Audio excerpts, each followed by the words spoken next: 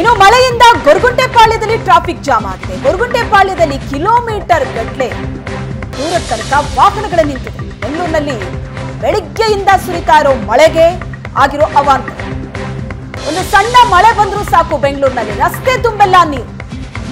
ವಾಹನಗಳು ರಸ್ತೆಗಿಳಿಯೋದಲ್ಲ ಆ ರೀತಿ ರಸ್ತೆಯಲ್ಲಿ ನೀರು ತುಂಬಿಕೊಳ್ಳೋದು. ಟ್ರಾಫಿಕ್ ಜಾಮ್ ಕಿರಿಕಿರಿ ಆಗುತ್ತೆ. ಮರಗಿಡಗಳು ಜಾಸ್ತಿನೇ ಇದೆ ರಸ್ತೆ ಅಕ್ಕಪಕ್ಕದಲ್ಲಿ. ಆ ಮರಗಳು ನೆಲಕ್ಕೆ ಬಿದ್ದಿರುತ್ತೆ. ರಸ್ತೆಗಳು ಬ್ಲಾಕ್ ಆಗುತ್ತೆ. ಇಂಥ ಸಮಸ್ಯೆಗಳು ಸಾಕಷ್ಟು ಕಾಡುತ್ತೆ ಬೆಂಗಳೂರಿನಲ್ಲಿ. ಈಗ ಮಳೆಯ ಎಫೆಕ್ಟ್ನಿಂದಾಗಿ ನಗರದ ಹಲವು ಕಡೆ ಟ್ರಾಫಿಕ್ ಜಾಮ್ ಆಗಿದೆ. ತುಮಕೂರು, ನೆಲಮಂಗಲದಿಂದ ಬರೋರಿಗೆ ಟ್ರಾಫಿಕ್ನ ಬಿಸಿ ತಟ್ಟಿದೆ. ಒಂದು ಲಾಂಗ್ ವೀಕೆಂಡ್ ಅನ್ನ ಮುಗಿಸಿ ಬೆಂಗಳೂರಿಗೆ ವಾಪಸ್ ಆದವರಿಗೆ ಮೊನ್ನೆಯಿಂದಲೂ ಟ್ರಾಫಿಕ್ನ ಬಿಸಿ ತಟ್ತಾ ಇದೆ. ಗಂಟೆಗಟ್ಟಲೆ ಟ್ರಾಫಿಕ್ನಲ್ಲಿ ಸಿಕ್ಕಾಕೊಂಡು ಸವಾರರು ಪರದಾಡ್ತಾ ಇದ್ದಾರೆ. ರಸ್ತೆ ಮೇಲೆ ನಿಂತಿರೋ ನೀರನ್ನ ನೋಡ್ತಾ ಇದ್ದೀರಿ ದ್ವಿಚಕ್ರ ವಾಹನಗಳು ಟೂ ವೀಲರ್ ಇಂಥ ರಸ್ತೆಯಲ್ಲಿ ಹೋಗೋದಕ್ಕೆ ಬಹಳ ಕಷ್ಟಪಡ್ತಾರೆ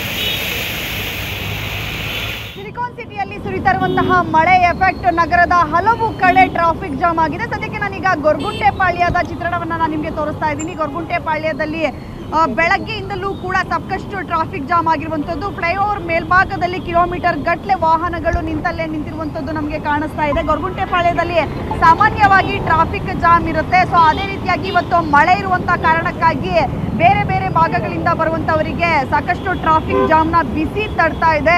ಬೇರೆ ಬೇರೆ ಭಾಗ, ಹಬ್ಬದ ಸಂಭ್ರಮವನ್ನ ಮುಗಿಸಿ ಸಾಕಷ್ಟು ಜನ ಇವತ್ತು ಕೂಡ ವಾಪಸ್ ಆಗ್ತಾ ಇದ್ದಾರೆ ಬೆಂಗಳೂರಿಗೆ. ಅವರಿಗೂ ಕೂಡ ಟ್ರಾಫಿಕ್ ಜಾಮ್ನ ಎಫೆಕ್ಟ್ ತಡ್ತಾ ಇರುವಂಥದ್ದು ಇನ್ನು ಮಳೆಗೆ ರಸ್ತೆಯಲ್ಲಿ ನೀರು ನಿಂತಿರುವಂಥದ್ದು ಅದರ ಜೊತೆಗೆ ಗುಂಡಿಗಳನ್ನ ತಪ್ಪಿಸಿ ಬಸ್ ಇರಬಹುದು, ವೆಹಿಕಲ್ಗಳು ಮೂವ್ ಆಗಬೇಕಾಗಿರುವಂಥ ಕಾರಣಕ್ಕಾಗಿ ಮೂವ್ ಆಗೋದಕ್ಕೂ ಕೂಡ ನಿಧಾನಗತಿಯಲ್ಲಿ ವಾಹನಗಳು ಚಲಿಸ್ತಾ ಇದೆ. ಈ ಕಾರಣಕ್ಕೂ ಕೂಡ ಗೊರಗುಂಟೆಪಾಳ್ಯದಲ್ಲಿ ಸಾಕಷ್ಟು ಟ್ರಾಫಿಕ್ ಜಾಮ್ ನಾವು ನೋಡ್ತಾ ಇದ್ದೀವಿ. ಬೆಳಗ್ಗೆ ಅರ್ಧ ಗಂಟೆಗಳ ಕಾಲ ನಿಂತವರು ಮೂವ್ ಆಗ್ತಾ ಇರುವಂಥದ್ದು ಕೂಡ ನಮಗೆ ಕಂಡು ಬರ್ತಾ ಇರುವಂಥದ್ದು. ಬೆಳಗ್ಗೆ ಆರು ಗಂಟೆಯಿಂದಲೂ ಕೂಡ ಗೊರಗುಂಟೆಪಾಳ್ಯ ಕಡೆಯಿಂದ ಬರುವಂತಹ ವಾಹನಗಳು ಇದೇ ರೀತಿಯಾಗಿ ಟ್ರಾಫಿಕ್ ಜಾಮ್ನಲ್ಲಿ ಸಿಕ್ಕಾಕೊಳ್ತಾ ಇದೆ. ಎಲ್ಲಿ ತುಮಕೂರು ಇರಬಹುದು, ನೆಲಮಂಗಲ ಕಡೆಯಿಂದ ಬರುವಂತವರು ಏನಿದ್ದಾರೆ, ಸೊ ಅವರು ಈ ರಸ್ತೆಯಿಂದ ಬರುವಂತಹ, ಮುಂಚೆ ಬರುವುದಕ್ಕೂ ಮುಂಚೆ ಅವರು ಒಂದ್ಸರಿ ಯೋಚನೆ ಮಾಡಬೇಕು, ಯಾಕಂದ್ರೆ ಬೇರೆ ಮಾರ್ಗವನ್ನ ಅವರು ಚೂಸ್ ಮಾಡ್ಕೊಂಡ್ರೆ ಒಳ್ಳೆಯದು ಯಾರೆಲ್ಲ ಅರ್ಜೆಂಟ್ ಆಗಿ ಹೋಗ್ಬೇಕು ಅಂತ ಇರ್ತೀರಾ, ಅವರೆಲ್ಲರೂ ಕೂಡ ಈ ರಸ್ತೆಯಲ್ಲಿ ಬರದೇ ಇದ್ರೆ ಒಳ್ಳೆಯದು ಈ ರಸ್ತೆ ಮಾತ್ರ ಅಲ್ಲ, ಬೆಂಗಳೂರಿನ ನಾನಾ ಭಾಗಗಳಲ್ಲಿ ಇದೇ ಪರಿಸ್ಥಿತಿ ಇದೆ.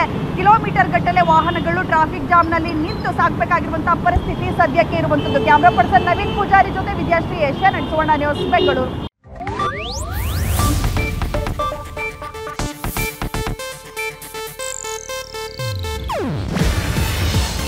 Asianet news network ಪ್ರಸ್ತುತಿ. ನೀವು ನೋಡ್ತಿದ್ದೀರಾ ಏಷ್ಯಾನೆಟ್ ಸುವರ್ಣ ನ್ಯೂಸ್.